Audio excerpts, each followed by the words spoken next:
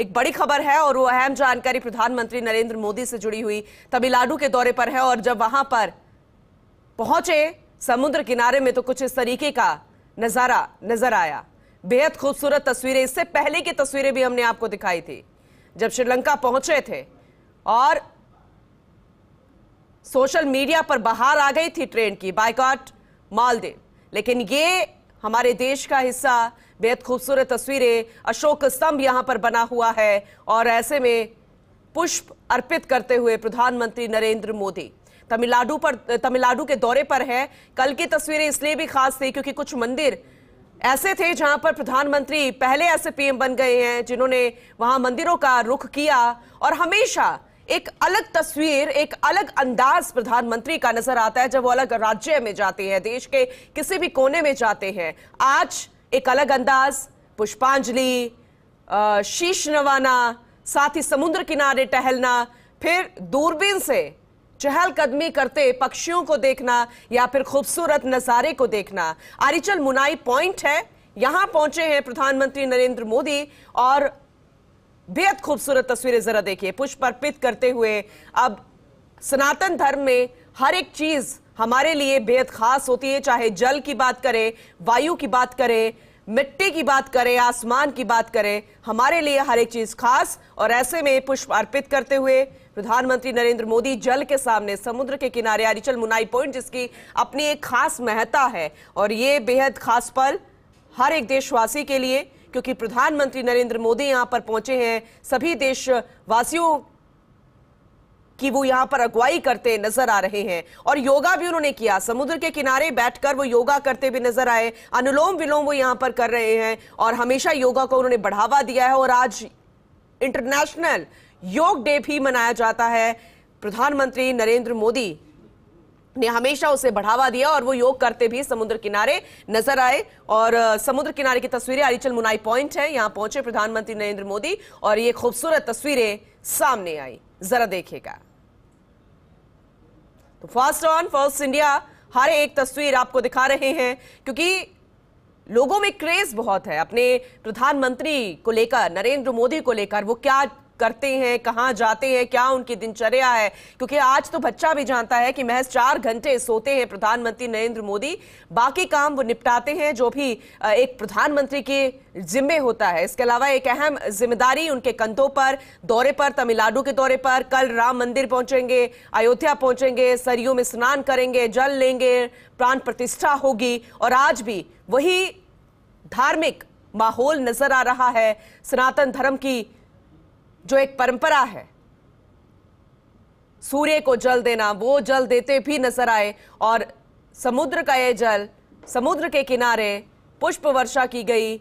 यहाँ पर जरा देखिएगा, समुद्र किनारे खूबसूरत नज़ारा अरिचल मुनाई पॉइंट पर प्रधानमंत्री नरेंद्र मोदी पहुँचे और वहाँ के जो रहवासी हैं, वहाँ के जो लोग हैं, वो खुद को गौरवान्वित महसूस कर रहे हैं। आप कोई एक जानकारी दे दें, इसकी महत्ता हम बार बार कह रहे हैं कि इसकी महत्ता आखिर क्यों है? क्योंकि आप जानते हैं कि रामायण में जब भी राम सेतु का ज़िक्र आता है तो हर कोई जानता है कि ये कितना सत्य है, क्योंकि नासा ने इसे डिक्लेयर कर दिया कि दूर से भी, यानी कि अंतरिक्ष से भी वो राम सेतु की झलक नज़र आती है, और वो राम सेतु इसी पॉइंट से शुरू हुआ था। जब उस ब्रिज को बनाया गया था, उस सेतु को बनाया गया था, हनुमान जी द्वारा राम द्वारा और श्री राम द्वारा और इस जगह से, इस पॉइंट से उस राम सेतु की शुरुआत हुई थी। पूरी जो सेना थी, वानर सेना, उन्होंने यहीं से इसकी शुरुआत की थी ताकि इसे पार कर श्रीलंका पहुँचा जा सके। आपको वो छोर याद होगा, जब श्रीलंका की तस्वीरें थी, आज वो छोर है जहाँ से इसकी शुरुआत थी, यानी कि वो राम सेतु। बीच की वो कड़ी और समुद्र के दो किनारे, कुछ दिन पहले वो किनारा दिखाया था, आज ये किनारा अपने आप में बेहद शानदार तस्वीर, धनुष कोड़ी, जिसे कहा जाता है अरिचल मुनाई धनुष कोड़ी, जहाँ से राम सेतु की शुरुआत हुई थी और इससे खूबसूरत तस्वीर कोई नहीं हो सकती, वहीं पर पुष्प अर्पित किए जा रहे हैं, शीश नवाया जा रहा है, श्री राम को याद किया जा रहा है और यहाँ के जितने भी पुजारी हैं, महंत हैं उन्होंने भी एक खास सम्मान भेजा है अयोध्या पहुँचाने के लिए, श्री राम मंदिर में पहुँचाने के लिए। और वो भेंट जो की गई थी, वो कल की तस्वीरें भी हमने आपको दिखाई थी, जब मंदिरों का रुख किया था। रामेश्वर मंदिर भी पहुँचे थे प्रधानमंत्री नरेंद्र मोदी। इसके अलावा तमाम ऐसे मंदिर पहुँचे थे, जहाँ पर पहले प्रधानमंत्री बन गए हैं नरेंद्र मोदी, जो कि पहली बार कोई प्रधानमंत्री उस मंदिर में गया हो। इसके अलावा रामायण के प्रसंग का भी उल्लेख वहाँ किया गया था। एक पाठ किया गया था, जिसमें शामिल हुए थे प्रधानमंत्री नरेंद्र मोदी। वो बेहद खास कार्यक्रम था। और अब अरिचल मुनाई से शुरू हुआ था राम सेतु। राम सेतु। वो सेतु, जिस पत्थरों पर लिखा गया था, श्री राम।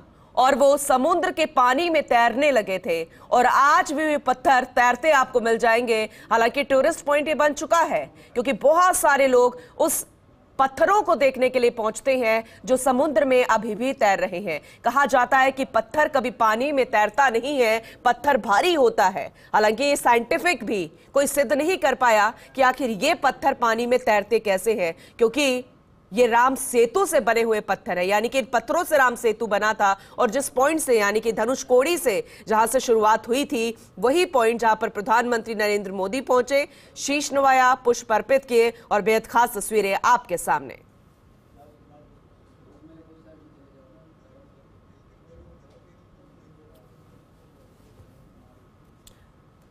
अरिचल मुनाई पॉइंट पहुँचे हैं प्रधानमंत्री नरेंद्र मोदी। और जब भी कोई इसी, ऐसी जगह पर पहुँचता है, चाहे वो किसी भी पद पर काबिज हो, तब वो सिर्फ़ एक भक्त होता है, एक आम इंसान होता है और भक्ति से सराबोर होता है। वही तस्वीरें, वही भाव आज प्रधानमंत्री नरेंद्र मोदी के चेहरे पर नज़र आ रहे हैं।